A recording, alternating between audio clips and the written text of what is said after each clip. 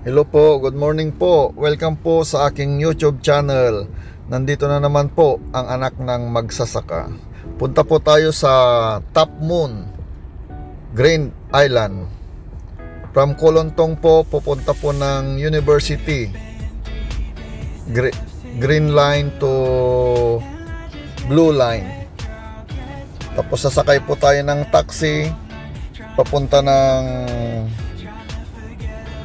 Kaitu. Yan po ang ferry service nila.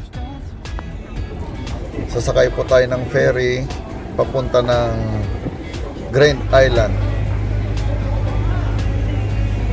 Yan po, nakasakay na po ako. Yan po ang isang first stop.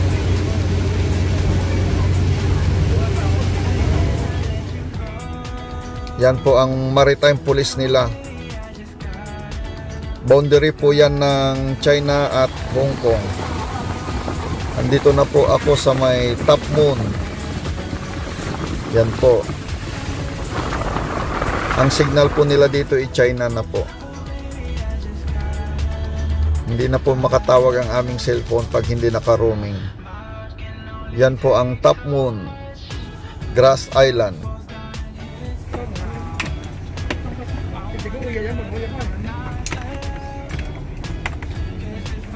Yan po, may mga dry seafoods po silang paninda. Yan po ang terminal. Papunta po tayo sa bundok. Yan po, marami pong mga alagang baka. Pinapakain po ng mga forest ranger. May mga nagbabantay po dito sa may ano, Grass Island. Yan po, maamo po yung baka na yan. Kaso kung kumakain niya ng mga naiwan ninyong mga gamit dyan. Yan po, maganda po rito mga kababayan, mag-relax, sumakay ng ferry. Nakaka-relax po pag sumakay ng ferry. Yan po, marami pong mga bisita rito. Yan po, maraming alagang mga baka oh.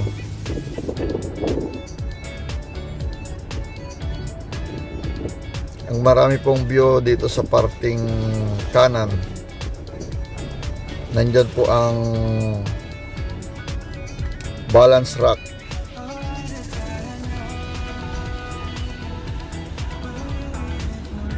Yan po, nagtatanim po yung mga forest ranger nila. Mga babae, lalaki, mga forest ranger nila. Nagbabantay sa mga baka. At itong island na ito, binabantayan nila. Yan po. May hilipad din po sila dyan. Oh. Yan po yung papunta ng Balance Rock.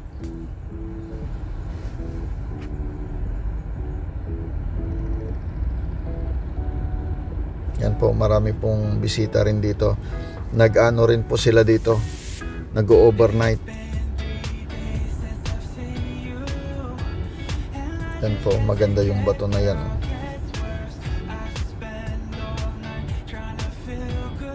Mataas. Maganda pong mamasyal. Ginagawa ko po ito para makapag-relax. Mahigit na pong dalawang taon na hindi nakauwi. Kaya mag-relax-relax po tayo. Exercise na rin po ito. Napakagandang exercise. Yan po, mataas na bato. Maganda pong mamasyal dito mga kababayan sa Grass Island or Green Island.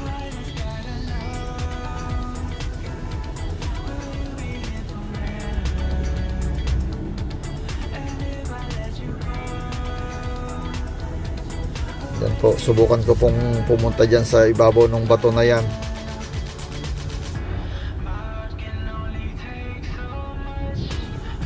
Ayan po.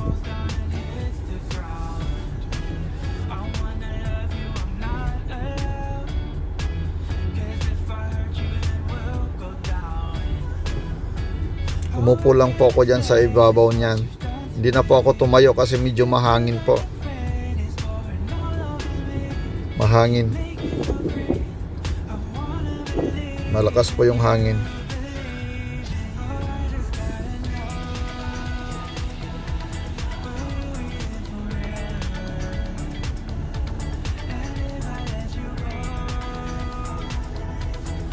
Yan po.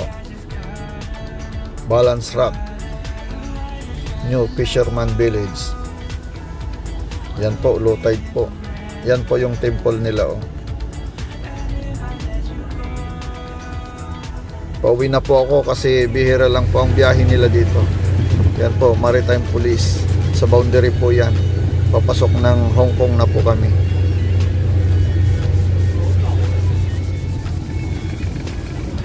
Ito po, mayroon pong stop dito. Pipick up ng mga pasahero.